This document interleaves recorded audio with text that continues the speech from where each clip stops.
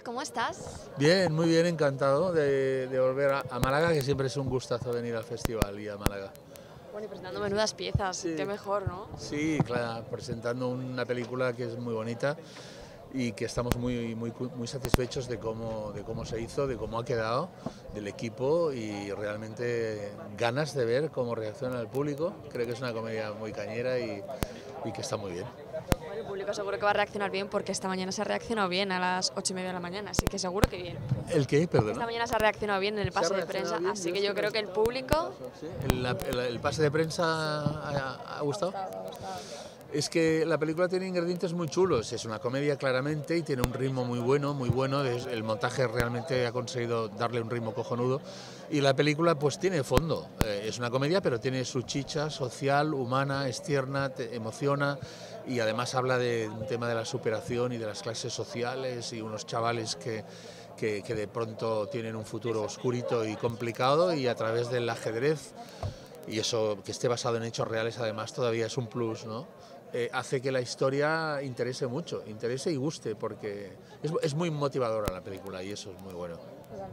Bueno, el personaje también de, de Alejandra Jiménez ahí, con cómo se ve su superación de tenerlo todo a luego volver a, a sus orígenes, por así decirlo. Creo que también es, es como un, un choque de, de realidad también para la gente, ¿no? Para que no se acostumbre a tener todo siempre lo bueno. Exacto, el personaje de Alexandra Jiménez, eh, que maravillosa actriz con la que tenía muchísimas ganas de trabajar y ha sido un gustazo hacer eh, de su padre en esta peli y además con esa relación que tenemos. Como tú has dicho, ella es una chica que venía de clase baja, pero de pronto se casa con un ejecutivo, un alto ejecutivo y se cree que está ya en la ha subido en la escala social y que ya está muy instalada allí, pero las cosas van como van y no voy a hacer spoiler, pero tiene que volver a su a su entorno a su casa, a, su- a sus orígenes, a su barrio, a su casa y, con, y en su casa que está con su hermana y con su padre y con el que de pronto pues eh, bueno se tiene que enfrentar a la dura realidad y luego consigue replantearse y a través del ajedrez reconducir su vida, ¿no? Pero al principio el choque, como has dicho, eh, es interesante ver cómo qué pasa con el tema de las clases sociales, ¿no? Y, y luego la lección de que a través del ajedrez todos somos iguales, que es una frase que repite el personaje de, de- de Emilio, mi personaje, ¿no? Pero esa relación de padre e que al principio es tensa porque para mí eh, fue una traición que mi hija me dejara y encima eh, fue una traición de clase. Así que con un hombre como él, tan educado en la lucha obrera, pues eso fue... Y, y no, es bonito ese, ese reencuentro que al principio es tenso, pero luego se va, a se va a poner bonito. ¿Cómo te preparas tú para este personaje? Tuve... ¿Cómo me lo preparé? Bueno, el hecho de hacer un personaje invidente fue un entrenamiento especial. Tuve una coach, una entrenadora estupenda, Patti Bonet, que es una actriz ah, con una discapacidad parcial de, de de- de visual, pero que es actriz, ella actúa, ella eh, ha hecho personajes. eh, Es una, es una gran entrenadora, gran maestra y muy simpática y que tengo ganas de volverla a ver y que vea la película porque eh, ella fue la que me ayudó a entrenarme con todo el tema de la expresión corporal de los ciegos, de la mirada, de- del tacto, de cómo trabajar las partes más técnicas del personaje. Eh, para mí ha sido un reto. De pronto trabajar la ceguera es una, un desafío mm, que a mí personalmente me, me pone. A mí los desafíos me ponen, creo que en general los actores nos gustan los retos cuando algo algo, un personaje te requiere un esfuerzo eh, eh, suplementario, ¿no? algo que tienes que trabajar aparte. Y, y, claro, el mundo del ciego de, de los ciegos de pronto tienes que olvidarte de que tienes a alguien delante, no puedes focalizar tu mirada con la suya, tienes que perder tu mirada y eh, interpretar con el rostro pero sin los ojos, mirar sin ver.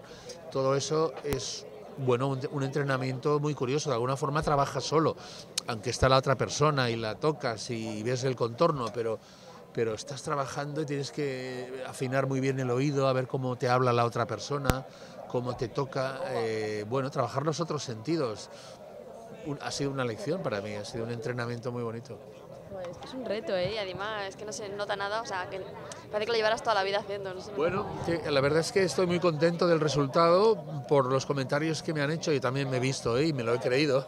y eso que un actor cuando se ve es muy crítico, con, con, yo soy muy crítico con lo que hago y siempre ves los, los fallos o los defectos. Pero, por ejemplo, uno, uno de los productores de, de Telecinco, de Mediaset, que, que su padre es ciego, vio la película y, y, ha dicho, eh, fantástico, es, eh, es, eso, es eso. Mi padre eh, también se quedó ciego, contaba de un accidente laboral y el tipo de ceguera que tiene, porque hay muchos tipos de ceguera. y le gustó mucho, dijo, sí, sí, es que es absolutamente eso, o sea, que, te lo diga alguien que ve a un ciego diariamente, pues ha sido muy, para mí ha sido un, un pirobo. Me ha encantado la película porque creo que además de lo que hablábamos antes, no solo hay que mirar al presente, sino también al pasado. Hay que, mirar, hay que hacer una vista de todo general siempre.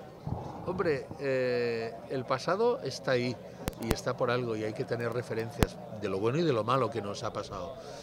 Yo creo que no hay que colgarse en la nostalgia ni, ni pensar que todos los tiempos pasados fueron mejores. En algunas cosas sí, porque estamos viviendo épocas muy, muy complicadas y muy duras el pasado hay que tenerlo ahí, no colgarse con él, pero, pero está ahí y sirve para aprender de, las cosas, de los errores y de todo.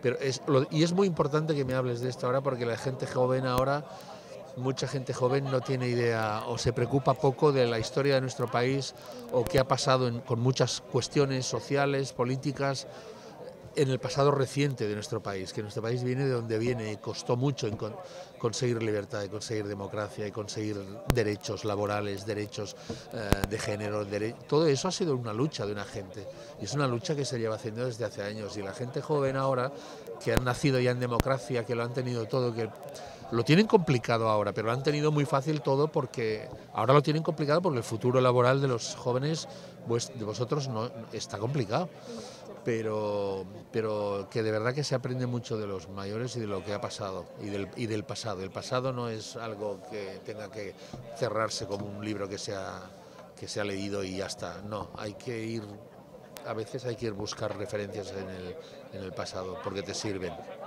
Pues muchísimas gracias, no vamos a hacer más spoilers de la película porque es maravillosa. Muchas gracias. Muchas gracias a ti.